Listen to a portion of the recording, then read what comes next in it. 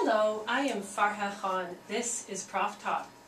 Iona Pacific Interreligious Center at the Vancouver School of Theology is a center that seeks to discover, model, and disseminate best practices in interreligious cooperation while addressing local and global issues. Iona Pacific came into being in 2009 when its founding director, Dr. Robert Daum, brought a vision to create a center where education and praxis meet. Its focus is simple, Research and teaching informs social action projects, and social action projects inform research and teaching. Its goals encompass education and advocacy, social action, dialogue, and leadership development. Dr. Robert Daum has been an associate professor of rabbinic literature and Jewish thought for many years, and throughout his career, he has been active in interreligious initiatives and educational administration. He's my guest today on Prof Talk, and he joins me now live in the CITR studio. Thank you, Robert, for coming in today. It's a pleasure. Let's begin with talking about how Iona Pacific Interreligious Center came into being. Why did you feel it was important to create such a center? I should say uh, that Iona Pacific was the vision of the Board of Governors and the faculty of Vancouver School of Theology, which has been on this campus for uh, several decades and is already a multi-denominational theological um, institution. VST went through a restructuring uh, a few years ago and created three centers under one roof. One of them is the center that houses the traditional work of Christian theological education. That's the Center for Christian Leadership. The other is the Indigenous Studies Center, which comes out of the deep relationships with over 40 First Nations uh, throughout this part of the continent with ties to indigenous communities around the world. And the third is the newest center, Iona Pacific. Um, I have the privilege and the pleasure of being the founding director, and of course I've had an opportunity to be a part of um, developing the vision and implementing the vision in ways that might not have been anticipated fully uh, when the center was launched, as is the case with many interesting ideas. Uh, but it is very much an expression of the, uh, the marriage of uh, learning and engagement with society that uh, has been a hallmark of Vancouver School of, School of Theology for, for a number of years. So tell us about the center. Uh, what kind of initiatives uh, is your center currently involved in? What are the kind of academic programs that you offer? Sure. We work in three domains. We work in the area of research and, uh, and teaching. Uh, we work in, in emerging youth leadership and we work on community initiatives. And as you uh, alluded to in your introduction, uh, they feed off of each other and they produce um, newer and deeper ways of engaging um, the, the, issues in each of the three. So in the area of teaching and, and scholarship, uh, it's really quite exciting. We have a uh, two new degrees um, in Indigenous and Interreligious Studies. Um, a master's uh, and uh, a Master of Theology, a more advanced degree, that we provide in uh, partnership with the, our Indigenous Studies Center uh, under the umbrella of, of VST.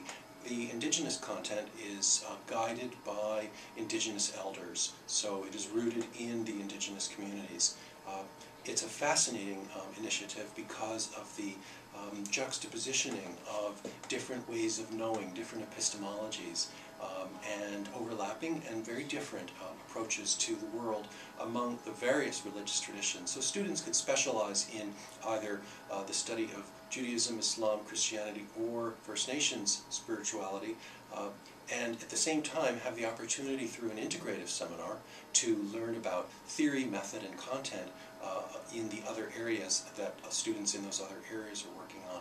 We also invite visiting scholars, uh, ranging from, um, well, our Critical Conversations series that is underway now is really quite exciting we brought um, uh, a professor from New York University, Elliot Wolfson, who's a world leader in research in Jewish mysticism. Um, we brought him in in partnership with UBC's Classical and Eastern Religious Studies Department, where I also hold an adjunct appointment. Um, we brought him in, uh, and he gave a series of presentations on mysticism, which were quite wonderful. And then we're bringing in on November 8th, 9th, and 10th um, uh, one of the leading thinkers um, in the area of Mediterranean studies, the Euro-Arab dialogue, um, professor of Arabic and Islamic thought at the University of Sevilla in Spain, Emilio Gonzalez Ferrin, author of the standard study, uh, The History of Al-Andalus.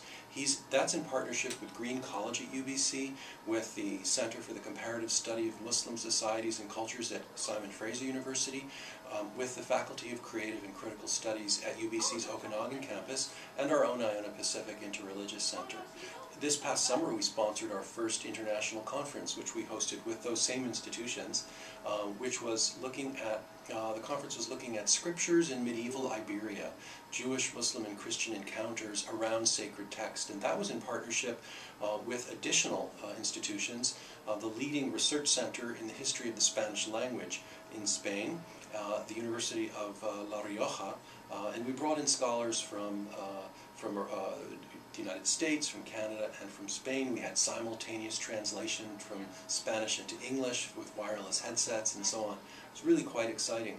Um, in March, we're bringing um, to this campus, uh, under the principal sponsorship of the Morris Wosk Center for Dialogue at Simon Fraser University, one of the leading writers um, on religion in the world today, Karen Armstrong.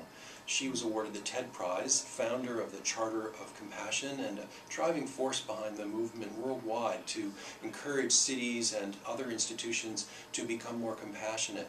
Uh, she'll be here in March for, uh, for 12 days, and as a part of that visit, um, we at Iona Pacific have the opportunity to bring here to the UBC campus Karen Armstrong for a full day conference, principally for post-secondary students. Um, it'll be very, very exciting, uh, and that'll be an opportunity to engage in a conversation about where compassion can be found and how it can be nurtured more productively in religion by bringing together students from universities all over the region to engage in that conversation. There also will be Karen Armstrong book clubs that'll be forming on this campus. So students who read her book, 12 Steps to a Compassionate Life, uh, and engage in that process will have an opportunity to, uh, to register to attend uh, some of those events uh, with Karen Armstrong.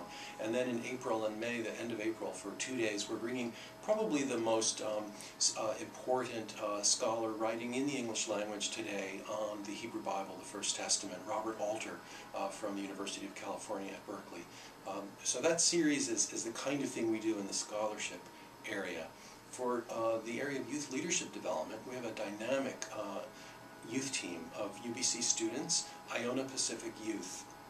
The co the co-leaders of that team are a student in the School of Nursing and a student at the Sauder School of Business. And uh, it's a wonderful dynamic group that, that works with other students to co-create solutions to uh, critical local and global issues, particularly in hands-on projects like working with, uh, with folks to raise funds for uh, malaria nets, uh, like working together to find more um, welcoming ways to help to bring refugees and immigrants into our Canadian society. Um, uh, other sorts of initiatives that they've been um, engaged in um, were microcredit challenge they did last year to um, raise funds uh, for an African youth entrepreneurship organization uh, through through an, uh, an auction. Um, so that's a wonderful, wonderful opportunity for students to um, engage with other students across um, ethno-religious lines that too many students don't uh, seek out and find opportunities to, to cross so that we can learn to work together and, and learn together more uh, productively um, as, in, in Canada. And then the third area is community initiatives. And we have some really exciting projects there. One of them is led by our postdoctoral fellow, Rosa Sevi, and it's a project working with mothers across religious boundaries um, who have in common uh, children of a similar age. And it's been a, just a tremendous program. Uh, and in addition to that, uh, we have a media project partnership with the Daniel Pearl Foundation, um, uh, for which we've um, done a lot of research in, in uh, collaboration with scholars at the Liu Institute for Global Issues, folks in critical media studies and others, to try to develop ways to promote critical thinking about international conflicts. That's just some of what we're engaged in. You have a diverse academic background. and You completed a BA in political science uh, many years ago, an MA in Hebrew literature, and then later a PhD in your Eastern studies. But earlier in your career, you also were ordained as a rabbi. And so, in what ways has your own spiritual background influenced um, the kind of work you're currently doing today? It's a really great question. Um, one of the one of the aspects of my work that I think is so um, helpful um, is to be able to recognize the, the, the, the, some of the complexity of what it is to be a human being in the world. Um, we are not only physical beings, we're not only cognitive beings, um, we, we, we are also uh, people who feel, people who perceive, who sense, uh, people who have uh, a desire, uh, many of us, to uh, be able to uh, understand, um, to make meaning out of being a human being, people who have a sense of history. Um, we are living in a world in which there are people who have needs that are far more extreme or critical than our own. Um, and many of us, I think, at this stage in human history, um, are feeling a sense of urgency about the scale of problems that, that we face as human beings. Um, old approaches of working in isolation, um, working within uh, our, um, our kind of silo effect, um, we recognize here in the Academy at a, at a great uh, research university like UBC, um, and certainly in theological education, uh, this is very much the case today. We recognize the importance of interdisciplinarity, of multidisciplinarity, of, of being familiar with and connecting with scholars who are making advances in other fields that might be relevant. Likewise, uh, human beings and societies are multifaceted, and um, we need at this time in our, in our history, I believe, uh, to find ways to build new relationships, um, to reach out to uh, the uh, ancestral um, uh, um, guardians of these lands, um, the, the, the, uh, the Musqueam Nation here on this campus um, with the uh, Coast Salish peoples, the people who um, have been here for many, many generations and, and learn from their wisdom traditions. We need to find ways to, um, to draw on the deep resources of the wisdom traditions um, in Muslim societies and cultures, in various Christian uh, civilizations, and in Jewish tradition, in Buddhism, in Hinduism, in Sikhism, uh, and, and on and on and on, um, because we cannot um, uh, we cannot address in a critically effective way um, the uh, intellectual challenges, certainly not the social challenges that we face uh, as a planet unless we find uh, ways to work together more intentionally, more respectfully, uh, more creatively, um, and ultimately, I think, more productively. So because I worked in a community where I was engaged with, with folks from birth to death, as it were, uh, and had the opportunity to work across religious uh, boundaries, I started doing that very early in my, in my rabbinate. Um, it, it, it, it, it naturally lent itself to, to that kind of focus in my academic work. And I've always been interested in finding ways to engage the research, the learning and teaching, and um, work in the community. And they, they, I learn a great deal from the engagement in the community that helps to enrich my research and my teaching. What is your goal at Iona Pacific since it's only been two years since its inauguration? What is your ultimate goal, Robert?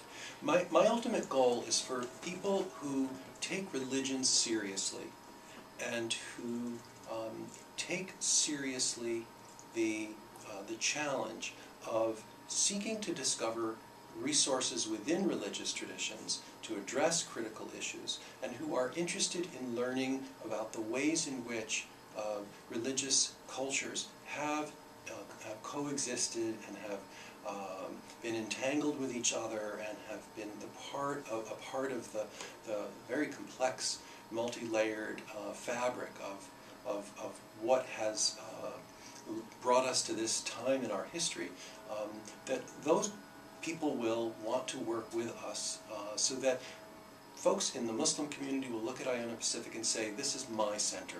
People in the in the Christian community will say, this is my center. Folks in the Jewish community, First Nations, um, Sikhs, Hindus, Buddhist community, etc., etc., that they will see this as, as a place where they can come together and and, and engage with community leaders, with scholars, and with emerging student leaders um, more quickly across lines, across boundaries, uh, in order to, uh, to be able to um, uh, move, move in a direction that is healthier for, for, our, for our planet and for our local community as well. So how can uh, people in the local community, whether they're UBC students or whether they are faculty members or the general public, how can they get involved with Iona Pacific? Uh, that's a great question. For students on the campus um, who would like to engage with Iona Pacific Youth, uh, the way to do that is to send an email to ipyouth at ionapacific.ca. It's just ipyouth at ionapacific.ca.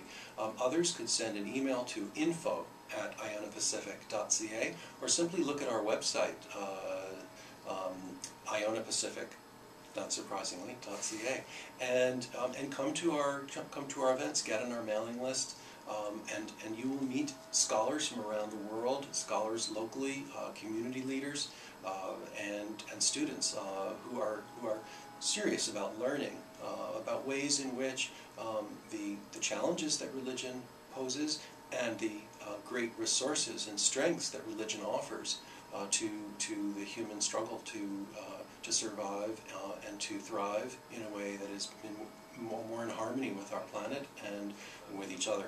So there are lots of ways to get engaged uh, in particular projects, come to a lecture, attend a workshop. Um, and if you're interested and you have ideas about something that you think might be uh, appealing to us, um, please do let us know. We're, we're, we, we have had a, a really wonderful opportunities to engage with research centers and scholars uh, in Europe, um, in, in China, uh, with government um, folks in the government at the federal, provincial, and, and city level. Um, we're really grateful to uh, the province of BC and the government of Canada through their Embrace BC program that has provided support for our, um, our project program with mothers. Um, we're, we've benefited from, uh, from grants from, from uh, foundations in the United States, here in Canada. Um, we have some wonderful projects underway. So if you're someone who's interested in um, working in a multidisciplinary way as a researcher, uh, as a student, um, or you want to roll up your sleeves and get engaged in some hands-on activities with emerging youth leaders or uh, tap into work being done in some of the wonderful community organizations with which we have the opportunity to work, uh, please do let us know.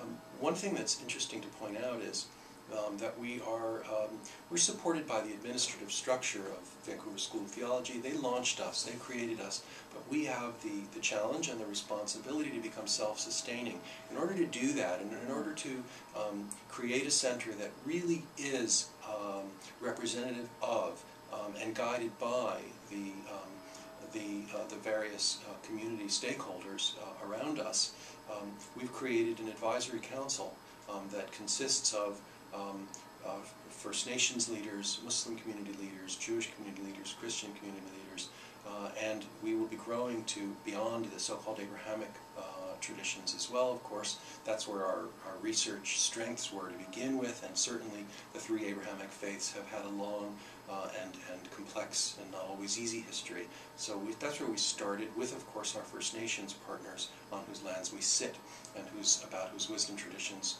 um, we know too little. Um, but we will be uh, growing beyond that initial base. So there, there, there are, uh, there's also a program committee um, that consists of that uh, diverse range of folks. Uh, so there are many, many ways to connect with us, and we'd love to hear from you. I'd like to ask you about what you're currently doing at SFU because it does relate to this sure. work, and I think it's very interesting. Yeah, this is really exciting. Um, we um, we are we co-developed a course this semester, um, which is offered um, at the uh, world-renowned uh, Morris Wosk Center for Dialogue at Simon Fraser University. Um, there was an article in the Globe and Mail a month ago that was addressing uh, in a pretty tough way some of the challenges that uh, research universities are facing in, in, in uh, the area of undergraduate education. Um, it's a complex problem. And um, the undergraduate semester in dialogue at SFU, um, which is open to, uh, to some UBC students, uh, every year, um, changes its theme every semester. Um, and there are wonderful programs here at UBC that also um, do some of this kind of work. Uh, the formula at SFU is really quite fascinating, and it's an opportunity to learn about dialogue um, as a way of being in the world, engaging in the workplace and in, in various issues, particularly in the public square. So um, I'm one of three teachers um, in this course that we developed together with the Wosk Center, um, with Iona Pacific, over the last 18 months. Um, uh, so I bring religion to the table, as it were. Uh, uh, the other instructor is the academic director of the Wosk Center for Dialogue, Dr. Mark Winston, who is um, probably the world's leading bee and pollen scientist. Some of you may have seen him putting a bee beard on Rick Mercer on uh, the Rick Mercer report a couple of years ago. And the third instructor is a wonderful educational and analytical philosopher named Hee-Soon Bai. She's in the Faculty of Education at, uh, at SFU. And together, the three of us are, are facilitating this course, which is entitled Religion, Spirituality, Contemplative Inquiry, and Social Action.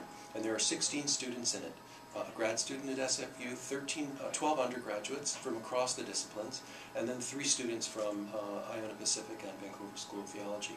And the student projects are engaged in the world, in the real world, in the city. There will be a public dialogue, there will be an analysis of the way, ways in which a, a, particular religious organization in the community is addressing a critical social issue.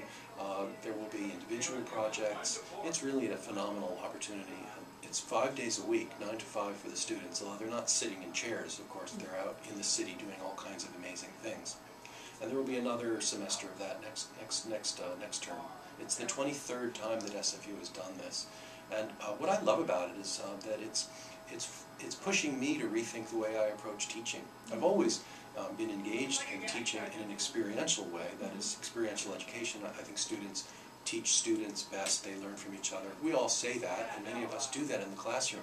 Um, but I think the Wosk Center uh, is really a world leader in this model, and that's why the Globe and Mail singled them out uh, for the, the, great strengths. And as I said, there are many programs here on this UBC campus that are also uh, really exceptional uh, in terms of innovative ways they're addressing the undergraduate experience. But I'm thrilled to have this opportunity this fall at SFU. That's right. Well, thank you, Robert. It's been such a pleasure uh, to have you on the show, and uh, best of luck with all of these incredible initiatives. Thank you, Farha. This is Prof Talk on UBC CITR 101.9 FM in Vancouver and via live live web streaming on CITR.ca. I've just been speaking with Dr. Robert Daum from the Iona Pacific Interreligious Center located in the Vancouver School of Theology, which is situated right here on the UBC campus. For more details about the center, please visit www.ionapacific.ca. If you would like to hear an audio or video podcast of this show, please visit proftalk.ubc.ca or email us at prof.talk at ubc.ca. I'm going to end today's show with some flamenco music by Paco de Lucia. I am Farha Khan. Thank you for listening today.